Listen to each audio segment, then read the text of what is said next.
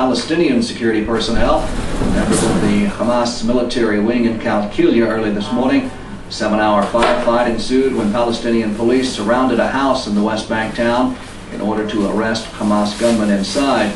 Palestinian sources named the two dead Hamas men as Muhammad Yassin and Mahmoud Asaman, commander of the Izzadin al-Qassam brigades in Qalqilia.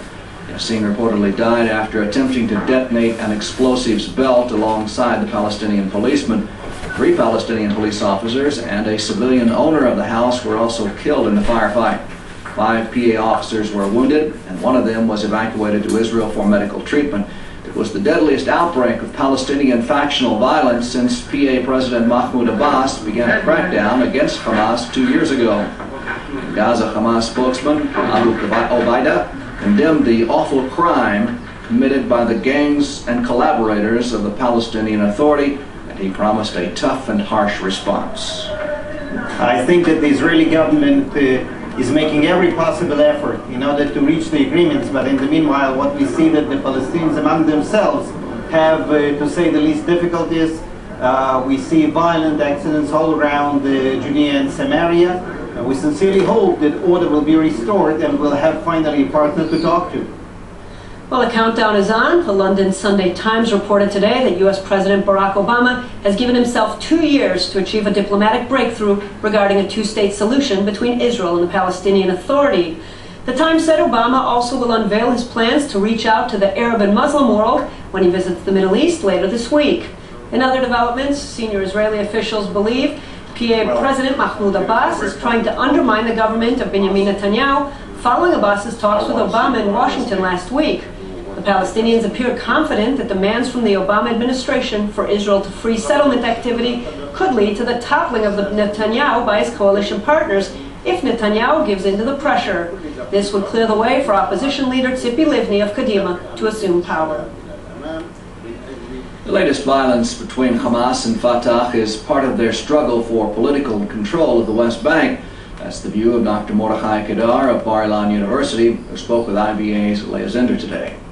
Actually, this is a fighting for who is the ruler of the West Bank, whether it is Abu Mazen, and the PLO, or Hamas, as they are already celebrating two years in, in uh, Gaza. And uh, this fight is actually resembles the rift inside the Palestinian Authority, which nobody can deny.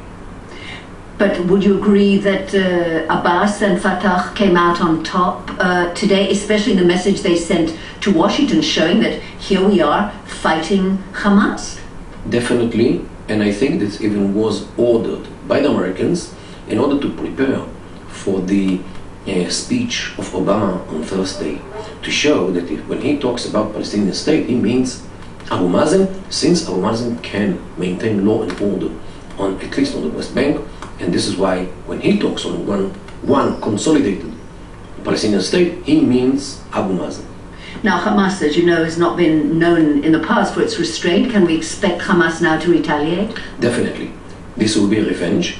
But uh, Hamas now wants to show that Abu Mazen cannot deliver in the West Bank and I think this would be a very big motivation for Hamas to maybe even launch a terrorist attack inside the West Bank against uh, the Fatah or against the PLO uh, security organizations. At the same time, what you say is interesting. You say that both Fatah and Hamas are trying to show how much they can keep law and order, one in Gaza, the other on the West Bank. This is very different from the past when they were both trying to show how uh, violently they could oppose Israel. Don't forget that uh, Hamas already is a government for two years or almost in Gaza, and they want to show that they can maintain law and, law and order, and they might be even better than uh, uh than the PLO.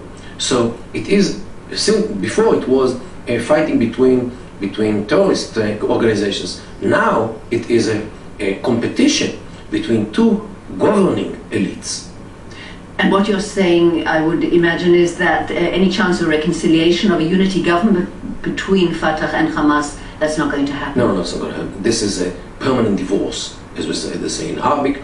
This divorce cannot be uh, uh redeemed.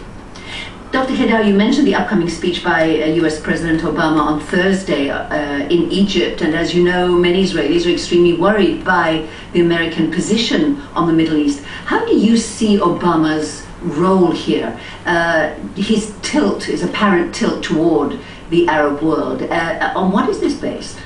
I think he's trying to be nice to the Arab regimes, not the Arab world, by uh, squeezing Israel. And uh, I think that he is totally mistaken. He is losing his best ally in the Middle East while relying on regimes which have no legitimacy and uh, their stability is in question. Uh, he is acting like a rookie who is trying to command over an armored division. And uh, You I- put it all down to his lack of experience? lack of experience and the fact that he is listening too much to interessant to interessants who uh, uh, mislead him, especially the king of Jordan and the king of Saudi Arabia, who are more worried uh, from Hamas. This is why they want a Palestinian state. They, they, don't- they don't uh, uh, want a, a Hamas state uh, on their border. And this is why they preach so heavily for establishing a Palestinian state, even on the exp- expense of the state of Israel and the security of the state of Israel. Iran and Hezbollah were behind last year's plot to blow up